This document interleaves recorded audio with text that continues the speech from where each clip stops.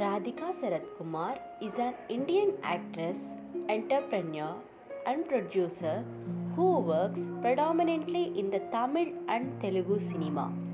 She also starred in Malayalam, Hindi, Kannada, and appeared in 350 films during her career.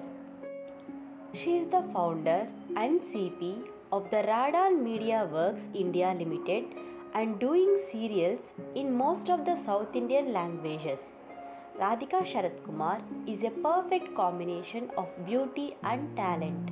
She had a successful career so far and earned appreciations from the former CM of Tamil Nadu, Dr. Karunanidhi. She has impressed the audience with her praiseworthy performances on both small screen and silver screen.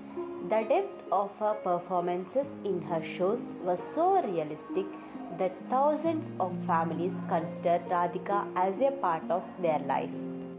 Here are some unique sari and jewelry in which Radhika Sarath Kumar was seen in the weddings, events, and functions. She looks absolutely stunning in traditional saris. For silk saris, she has mostly accessorized gold long haram with statement locket paired with the locket matching earrings.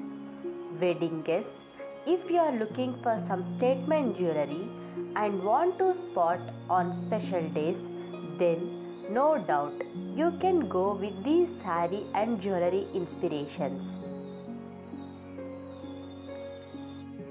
If you like this video, please like and share. Do subscribe to Elite Studio Wall for more updates.